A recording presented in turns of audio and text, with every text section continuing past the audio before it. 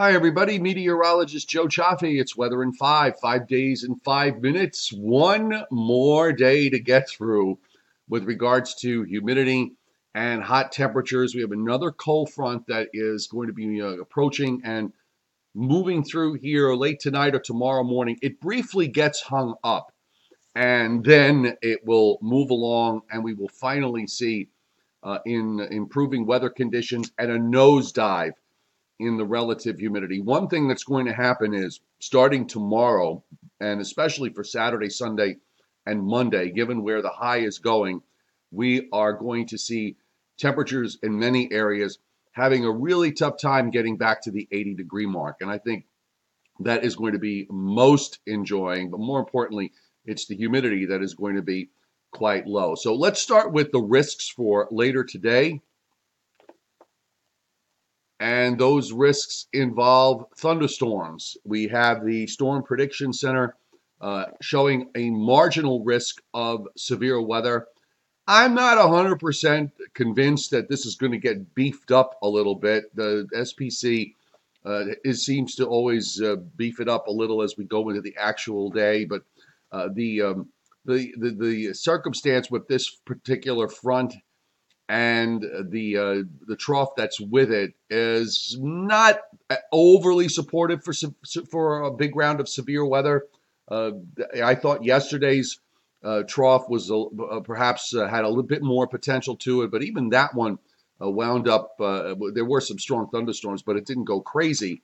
so I'm thinking that there may be some isolated cells to deal with it today, but we're not going to suddenly adventure into uh, widespread severe weather. Here's our cold front that is approaching. And uh, we look and look closely. You can see the dew points are generally all in the 70s ahead of it. These are 5 a.m. temperatures, but we jump to the other side of the front and we've got temperatures in the 60s and 50s and those dew points down in the 50s and 40s. And that's the air that's coming in here uh, beginning uh, tomorrow. And on the uh, high temperatures, as I said, for today, it's going to be a hot one. We're looking at upper 80s to lower 90s from northeastern Virginia right up through southern New England. We will have ample daytime heating today, and I think that uh, it might it may actually in some places be a bit more than what it was yesterday because the wind is going to be coming in from the west. Uh, the air is a little cleaner after yesterday's upper trough went through, so perhaps the daytime heating might uh, add a little firepower to some of these thunderstorms. But take a look at uh, the high temperatures for Friday. We're only talking about readings in the upper 70s to around 80. And in some cases, when you go up into northeastern Pennsylvania and up through the Hudson Valley, you're talking about low and middle 70s. Saturday just looks absolutely delightful. We're seeing temperatures everywhere uh, running in the mid 70s to around 80 for highs.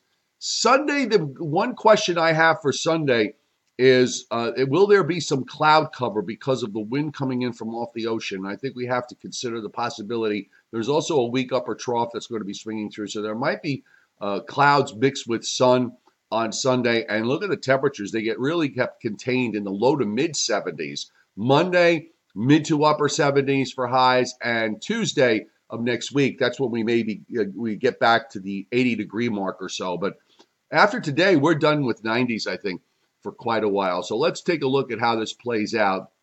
We do have our front that's coming through today.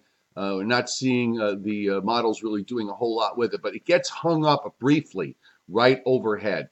And then it moves out to the east tomorrow morning. Have to wait for a little wave to develop to give the front the final kick.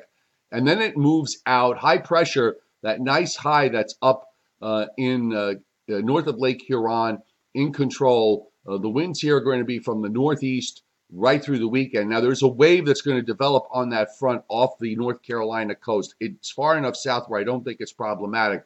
But because we have the flow coming in from off the ocean, uh, I, I, think we're going to have to uh, concern ourselves with the possibility that there may be a little bit of cloud cover here on Sunday. I'll just show you on the jet stream how it plays out. So here's uh, here's the um, setup for today.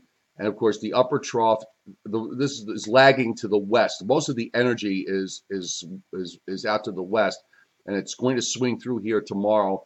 Uh, that's when you finally get that front to push on through, and then you get this little piece that just kind of hangs back there for Saturday night into Sunday and sits overhead. And that's why I'm thinking that we may have uh, some cloud issues to deal with. Otherwise, we're going to have some great uh, some great weather for developing later in the day on Friday, improving weather conditions from west to east on Friday with decreasing clouds and increasing sunshine. Saturday looks good, lots of sunshine everywhere. Let's call it a mix of sun and clouds for Sunday. More uh, sun, perhaps as you go north, and and more cloud cover as you go south of, uh, say, draw a line right across central New Jersey and cut Pennsylvania in half from east to west.